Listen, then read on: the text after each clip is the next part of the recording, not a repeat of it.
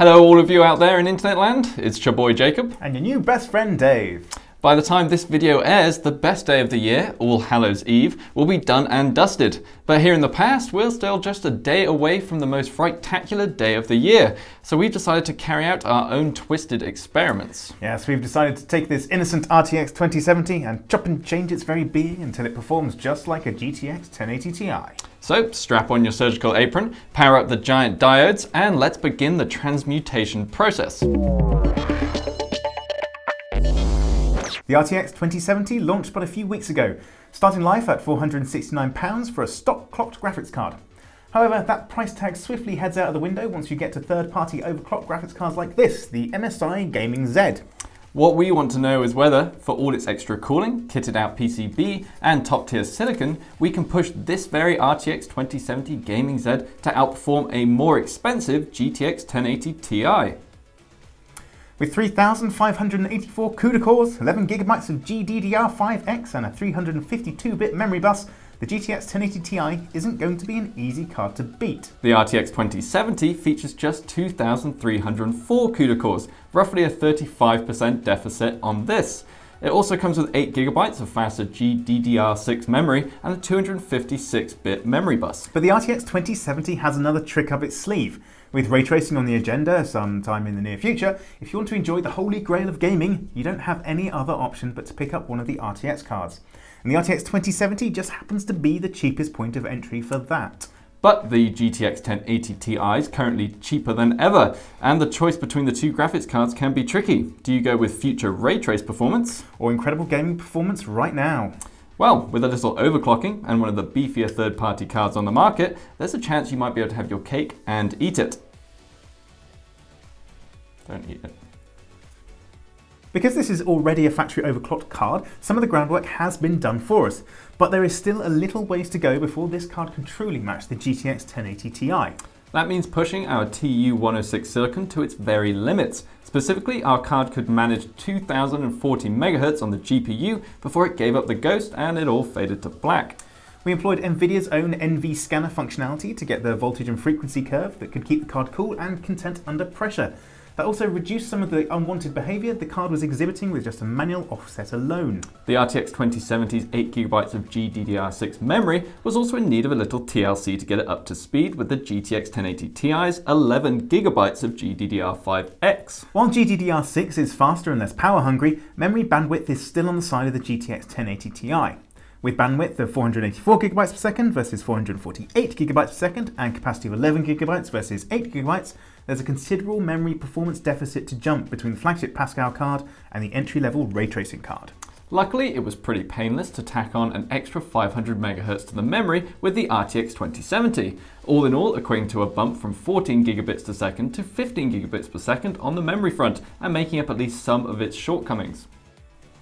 We'd be lying if we said we weren't making our lives just a little bit easier starting out with this factory overclocked GPU.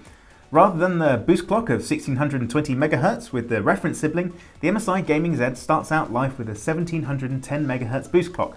That's already a 90 MHz factory OC bump. We're also only putting this card up against NVIDIA's reference Founders Edition 1080 Ti. We thought it to be cruel to pit this card against the ludicrous Gaming X Trio. We had to give the RTX 2070 a chance after all.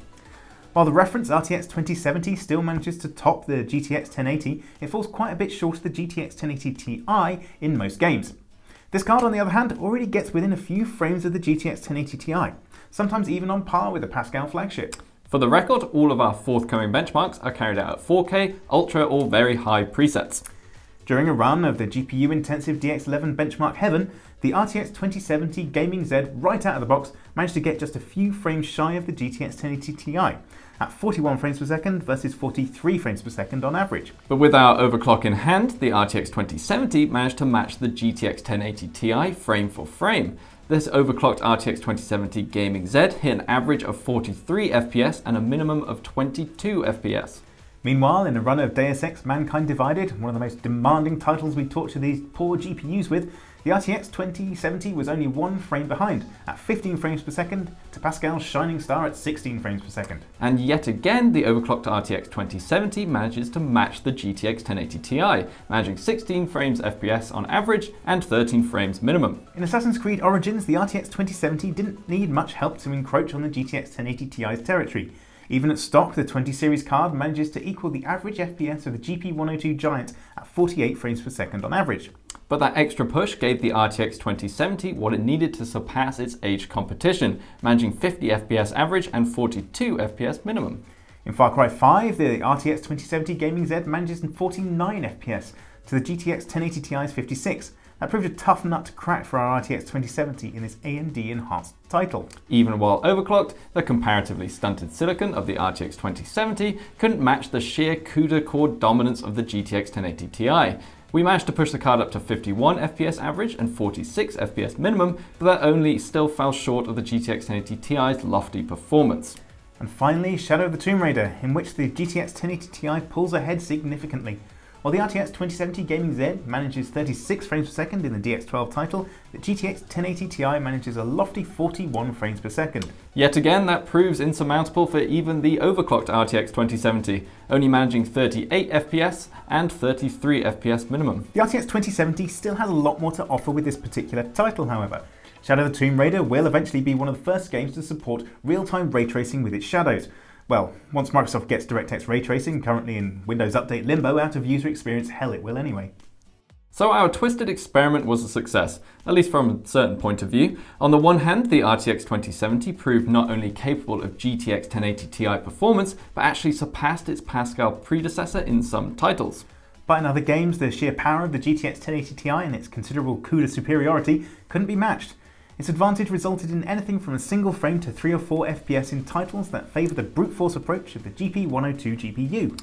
The RTX 2070, while still really expensive compared to its Pascal namesake, the GTX 1070, is the cheaper card with more promise for the future. While still a leap of faith for future performance right now, ray tracing and DLSS might just be enough to sway gamers over to the Turing architecture.